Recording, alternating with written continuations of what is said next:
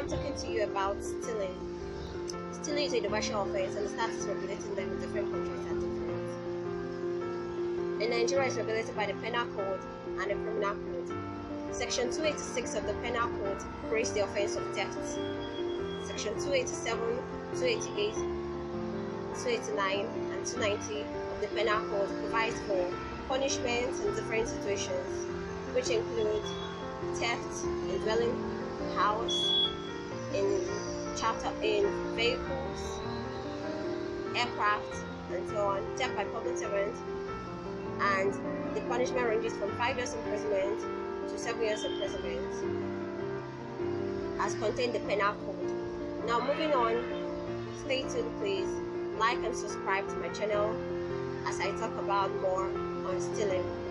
Now, in the criminal code, section 382 provides for things that of being stolen. And what are the things that of being stolen? They include things that are movable or that can be made to be movable.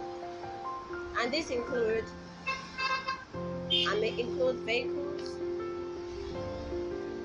animals, and every other thing that can be made movable or movable and owned by someone that can be stolen. Section 383 sub 1 of the Criminal Code also provides for the definition of stealing and it includes it provides a person who fraudulently takes anything capable of being stolen or fraudulently converts to his own use or to the use of another cap- things capable of being stolen is said to steal that thing. Please stay tuned. Thank you.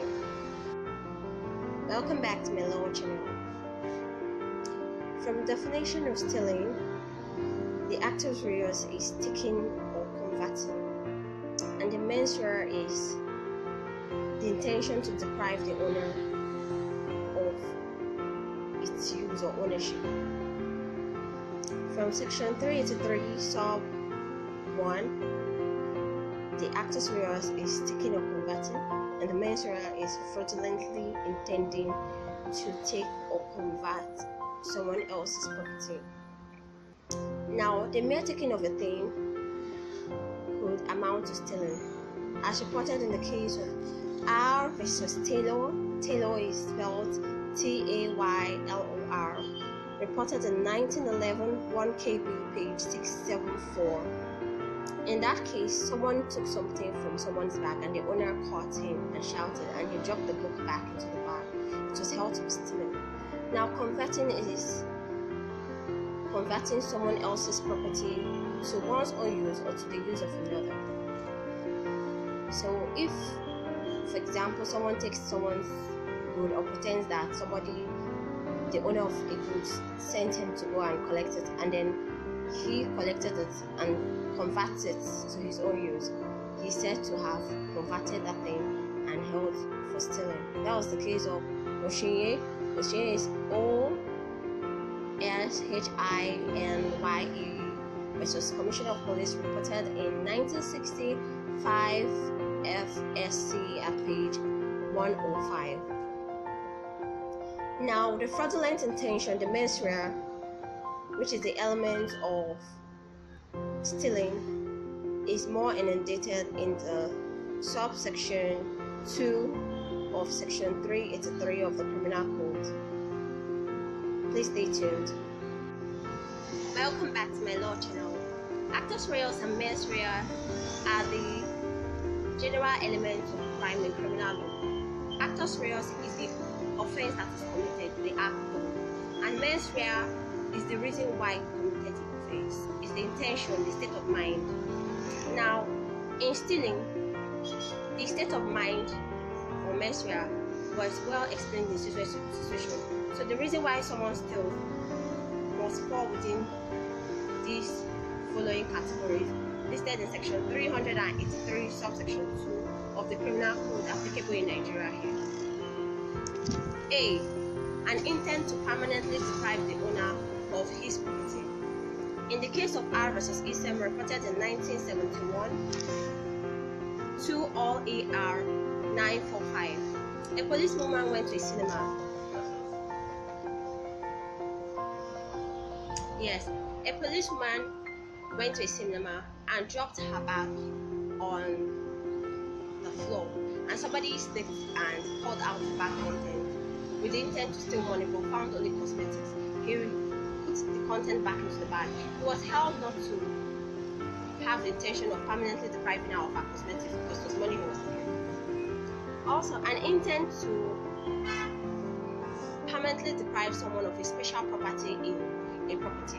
For example, if you give a dress to a tailor to sew for you and you're supposed to pay an amount, and instead of paying that amount of money, you go and steal the dress from the tailor's place, you have permanently deprived the person of special property or interest in that thing.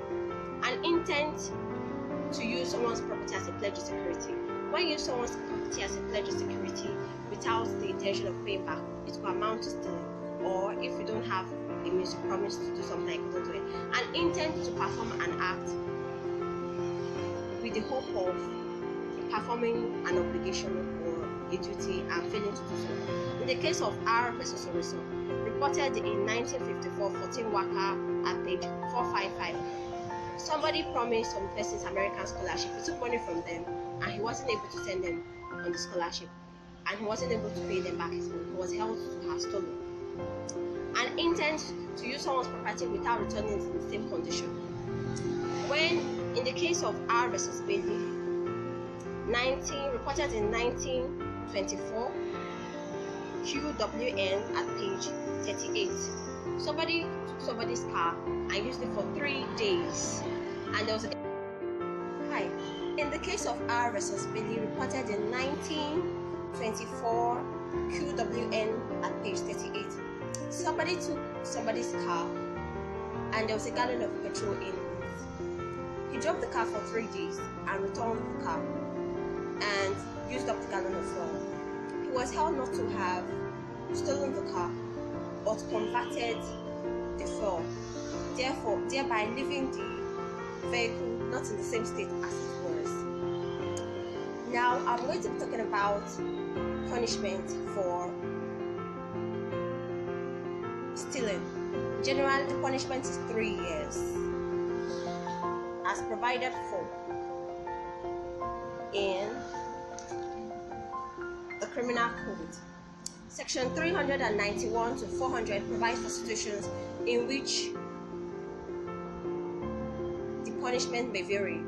Section 391 and 392 if you steal a testamentary document or things that has to do with the registry or something or testament wills is 14 years imprisonment and then Section 393 down to 400 provides for other forms of punishment for stealing. Now, if you find a lost property and you can't find the owner, it is okay for you to own the property. However, if the owner is close by, it may not be okay for you to claim ownership of that property, as was held in the case of R versus Vigor reported in 1938 for WACA at page 8. Restitution The Criminal Justice Administration Act 2015 provides for restitution of stolen property. Section 340 down and to section 341 342 provides for restitution of stolen property found on a defendant which may be made by the order of court or refunded or money refunded to the owner if found by the accused person on apprehension. I hope you've enjoyed today's tutorial. Please like and subscribe to my channel. Thank you. It's Precious Nnebue, a legal practitioner. I hope you have a nice day.